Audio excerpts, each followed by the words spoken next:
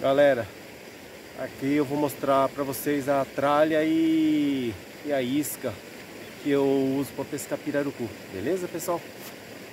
Aqui é uma carretilha perfil alto, um titano super da Shimano com a linha 080 e uma vara tamba 1,80m 50 a 100 libras, beleza pessoal?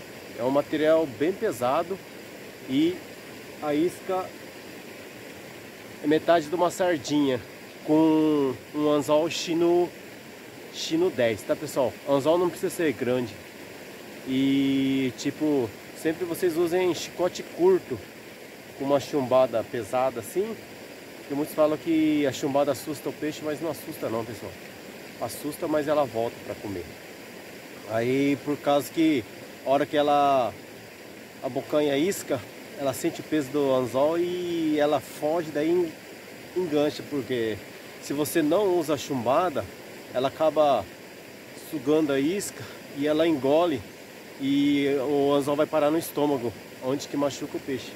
Beleza, pessoal? Aí depois eu puxo, eu não arremesso, eu puxo essa a sardinha bem ali no na beira da, da grama do lado ali, beleza pessoal?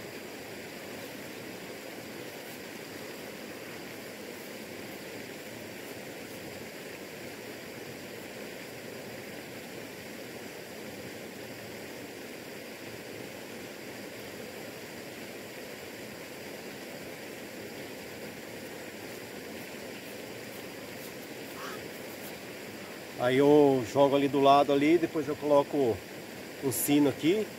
Aí eu deixo até o, o pirarucu ou de vez em quando entra até uma pirarara. Beleza, pessoal?